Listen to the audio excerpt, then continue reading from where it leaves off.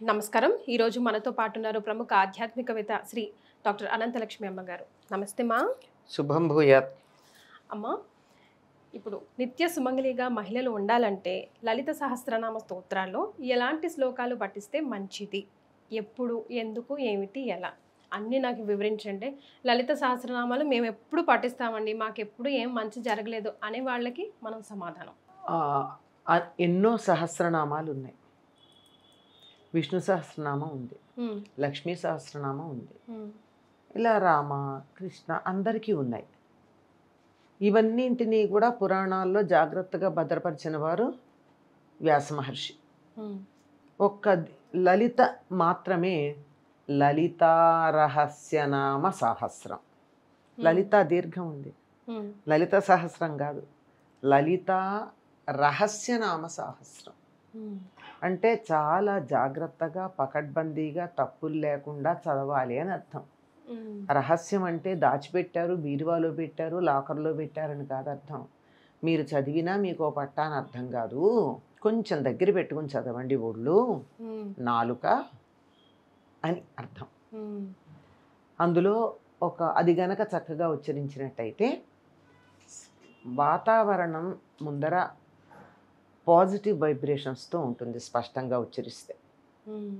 రెండు ఆ ఉచ్చరించటం వల్ల నాలుక వెళ్ళి అంగిలికి తగలడం వల్ల అక్కడ ఉన్నటువంటి న- నరాల కొనలు ప్రచోదితమై శరీరారోగ్యం బాగుపడుతుంది. ఉమ్, దాంట్లో ఉన్న అర్థం తెలుసుకోవడం ద్వారా మనస్సు బాగుపడుతుంది. దాంట్లో ఉన్న అర్థాన్ని ఇంతో అంతో ఆచరణలో పెట్టడం ద్వారా మనిషి ఉద్ధరించబడతాడు. అందువల్ల దీన్ని లలితారహస్యనామ సాహస్రం అన్నారు. ఇది చాలా పకడ్బందీగా నిర్వచనాల రూపంలో అన్ని రకాల శాస్త్రాలు అందులో అంతర్భాగంగా ఉన్నాయి. చాలా పకడ్బందీగా రచించబడింది. అందువల్ల ఒక దీర్ఘం కానీ ఒక హ్రస్వం కానీ ఒక ఒత్తు కానీ తప్పు చదివితే అర్థం మారిపోతుంది. తర్వాత కలిపి చదివితే అర్థం వేరు విడదీసి చదివితే అర్థం వేరు. అలా విడదీసి చదివి అమ్మవారిని నోటికొచ్చినట్టు తిడుతున్నారు అందరూ మంచి ఫలితం రమ్మంటే ఎట్లా వస్తుందమ్మా? కరెక్ట్. పైగా మనం ఫలితం అడుగుతున్నాం. ఆవిడ ఫలితం ఇవ్వడానికి సిద్ధంగా ఉంది. రెండిటికి తేడా ఉంది కదా? తెలుగులో అయితే ఇష్టం వచ్చినట్టు మాట్లాడుతున్నాం. ఇంగ్లీష్ నేర్చుకునేటప్పుడు స్పష్టంగా ఉచ్చరించాలని చెప్పి వాళ్ళు ముట్టికాయలు ముట్టి మరీ మనకి నేర్పిస్తుంటే తప్పనిసరిగా ఉచ్చరిస్తున్నామా లేదా? అంతే. మరి తెలుగులోను సంస్కృతంలోనూ వచ్చేటప్పటికి ఫలితం అనకుండా ఫలితం అని ఎందుకు అంటున్నాం అంచేత ఆవిడ ఫలితం ఇవ్వడానికి సిద్ధంగా లేదు గనక ఫలితం ఇవ్వడానికి సిద్ధంగా ఉంది మనం అడగలేదు గనక ఇవ్వట్లేదు. సింపుల్ యాజ్ దట్ అంటారు. అంత. రెండోది ఇదేమ్మా తప్పే ఉంది ఎట్లాగో అట్లా ఆవిడికి తెలియదా అంటే అమ్మా నీకు దండం అంటే కూడా తెలుస్తుంది. మొత్తం లలితా సహస్రనామ సహస్రం చదవక్కర్లేదు కదా? మరి. మన హృదయం ఆవిడికి తెలియాలంటే? మీరు ఈమెయిల్ పంపించేటప్పుడు ఒక స్పెల్లింగ్ తేడా కానీ మధ్యలో ఉన్న స్పేస్ కానీ డాట్ కానీ కామా కానీ సెమికోలన్ కానీ హైఫన్ కానీ అండర్ స్కోర్ కానీ అట్ ద రేట్ కానీ ఏదన్నా ఒక్కడి తేడా పెడితే ఈమెయిల్ ఎడుతుందా. పక్క పక్కన ఉన్న వాళ్ళకి ఈమెయిల్ వెళ్ళకపోతే ఎక్కడో ఉన్న అమ్మకి సర్వాంతర్యామిగా ఉండి అందరినీ చూస్తున్నటువంటి అమ్మకి ఎక్కడాగి ఎవరికి ఫలితం ఇవ్వాలో తెలియాలంటే కరెక్ట్గా కనెక్ట్ అవ్వాలా లేదా? భలే చెప్పారు. ఈ కనెక్షన్లో ప్రాబ్లం ఉంది. ఇన్స్ట్రుమెంట్ బాగుంది. కనెక్టివిటీ బాగుంది. అంతా బాగుంది. కనెక్షన్ ఇవ్వడంలో రాంగ్ కనెక్షన్ ఇస్తున్నాం. అది విషయం. చేత జాగ్రత్తగా స్పష్టంగా స్పష్టం. చదివేటట్టయితే ఫలితం చాలా బాగుంటుంది. దుష్ట దూరాన్న తర్వాత దురాచార శమని అని కలిపి చదవాల్సింది విడదీస్తారు. అప్పుడు ఏమైంది అర్థం? దురాచారం పోగొట్టేది అని కాక నువ్వు దురాచారం చేసేదాని అని అర్థం వచ్చిందా? మరి ఎంత దయగల తల్లి కాకపోతే అలా తిడితే ఇంకా మన సర్వనాశనం కాకుండా చూస్తోంది? ఇది. ఎందుకు ఫలితం రాలేదు అన్నదానికి చెప్తున్నా. ఇది మొ మొదటి మాట. రెండోది అసలు విషయం ఏమిటంటే అందులో చెప్పినటువంటి వాటిని మనం జాగ్రత్తగా పాటిస్తున్నామా? ఎవరైనా తనను అనుసరించే వాళ్ళు తనలాగా ఉండాలని కోరుకుంటారు కానీ దానికన్నా భిన్నంగా ఉంటే అనుగ్రహిస్తారా? అమ్మవారి నామాల్లో మొట్టమొదట ఏముంటుంది? చంపక అశోక పున్నాగ సౌగంధికల సత్కచ అని ఉంటుంది. చంపకము అశోకము పున్నాగము మొదలైనటువంటి పూలతో లసత్ ప్రకాశిస్తున్న కచ జుట్టు కలిగినటువంటిది. ఆవిడ ఎత్తిపెట్టిన చేతుల కన్నా జుట్టు ముడిలో ఉన్న పూలు కనపడుతున్నాయి. అంటే ఏమిటి అర్థం చక్కగా జుట్టు ముడి వేసుకుని పువ్వులు పెట్టుకుంది. మీరు విరబోసుకుని ఆవిడ్ని పూజిస్తే ఆవిడికి నచ్చుతుందా? జుట్టు విరబోసుకోవడం రాక్షసుల లక్షణం. మరి జుట్టు విరబోసుకుని ఆవిడ్ని పూజిస్తే రాక్షస లక్షణంతో పూజిస్తూ ఉంటే జుట్టు ముడేసుకున్న అమ్మవారిని ఆవిడ అనుగ్రహించాలంటే కొంచెం ఆలోచిస్తుందా లేదా? ఉమ్. ముఖ చంద్ర కళంకాభ మృగన అభివిశేషక అని నామం ఉంది. అక్కడ మనం ఏం చేస్తాం? మృగ చంద్ర కళంకాభ అని చదువుతారు. ముఖము అనే చంద్రుడికి మచ్చలాగా ఉన్నదానా అంటారు. అమ్మవారు మచ్చ. కాదు కదా. ముఖచంద్ర కళంకాభమృగనాభివిశేషక ముఖము అనేటటువంటి చంద్రుల్లో మచ్చలాగా ఉన్న కస్తూరి బొట్టు కలిగినటువంటిది. అమ్మవారి ముఖం చంద్రుడు. అందులో పెట్టుకున్న బొట్టు కస్తూరి. కస్తూరి బొట్టు చంద్రుడిలో ఉన్న మచ్చలాంటిది మరి మనం ముఖాన బొట్టు లేకుండా అమ్మవారిని పూజిస్తే ఆవిడ అనుగ్రహించాలని ఎలా కోరుకుంటాం మనం. ఒక వృత్తి చేసేవాళ్ళు ఒక యూనిఫామ్ వేసుకుంటారే? వేసుకుంటారా లేదా? ఒకప్పుడు మన దేశంలో ఆంగ్లేయులు పరిపాలించే రోజుల్లో అప్పుడు మొదలైంది.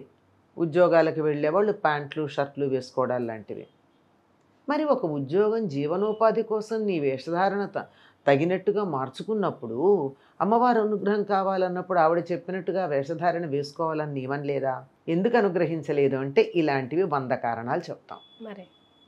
చేత ఆ కారణాలు అటుంటే ఇందులో ప్రత్యేకంగా ప్రార్థించాల్సింది ఏమిటంటే సుమంగళీలు ప్రార్థించాల్సిందే. సుమ అసలు మొత్తం చదవడమే చాలా మంచిది. ఇందులో ఒక సుమంగళి ఎలా ప్రవర్తించాలో చాలా చక్కగా చెప్తారు.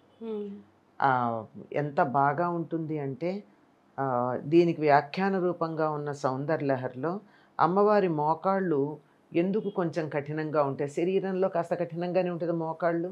ఎందుకంటే భర్త రాగానే వెళ్ళి ఆయన పాదాలకు నమస్కారం చేయడం వల్ల నేలకు ఎప్పటికప్పుడు ఈ మోకాళ్ళు తగులుతూ గట్టిపడ్డాయి అంటాడు. అర్థం చేసుకోవాలి కదా?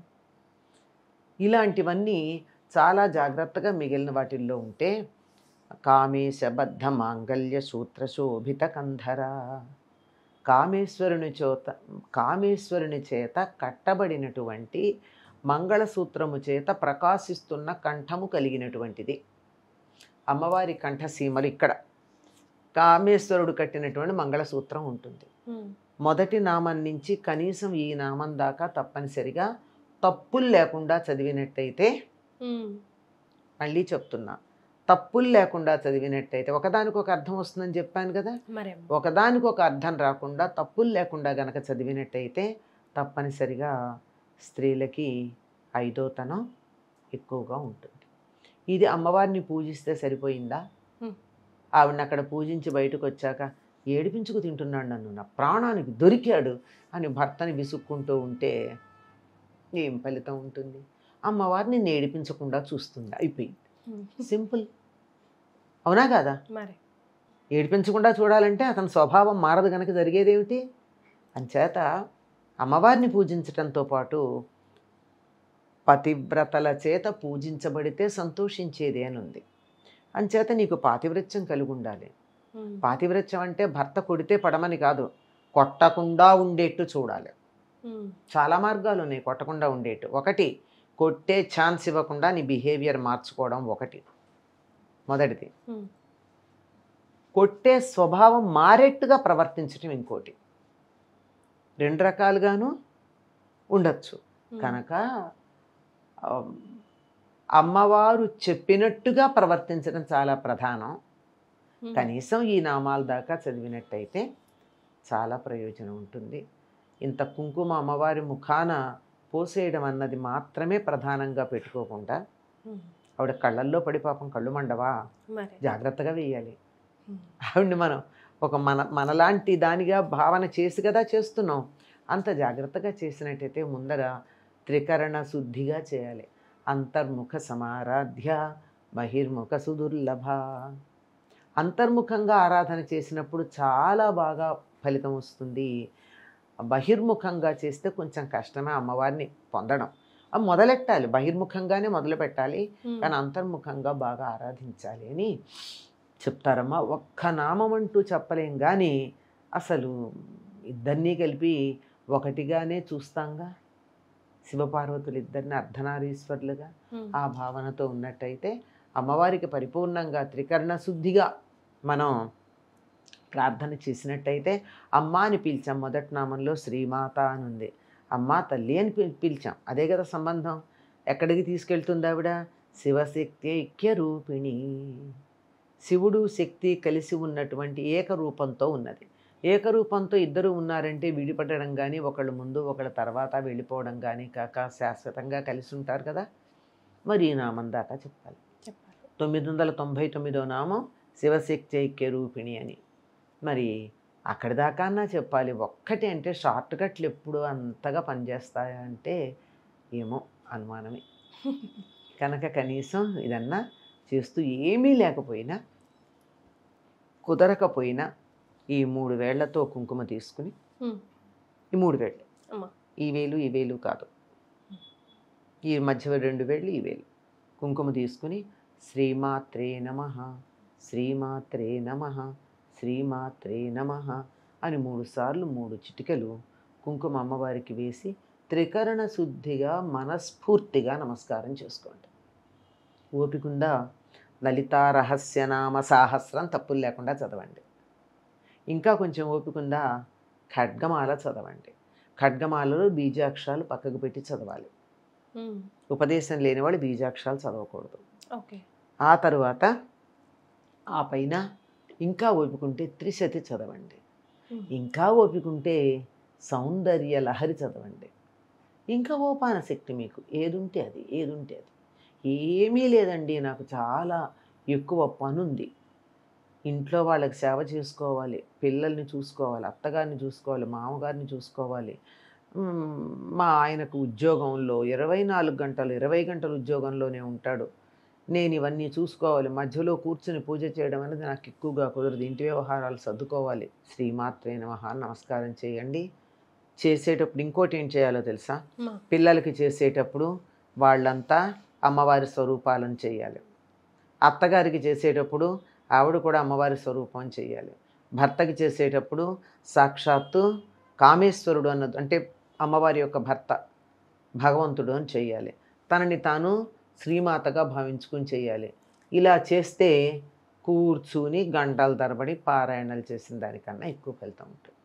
అమ్మ ఒక్కొక్కసారి అనుకోకుండా అనుకున్న మధ్యలో ఆపేసి వెళ్ళవలసి వస్తుంది. ఒక ఫోన్ కాల్ వచ్చిందనో అత్తగారు పిలిచారనో మామగారు పిలిచారనో హస్బెండే పిలిచాడనో అప్పుడు మళ్ళీ మొదటి నుంచి స్టార్ట్ చేయాలా? లేకపోతే ఎక్కడ ఆపేసాం అక్కడ మొదలు మనం సాత్వికంగా చేస్తున్నామమ్మా ఇళ్ళల్లో పూజలు. మనమేమి తామసికము రాజసికము కాదు కదా.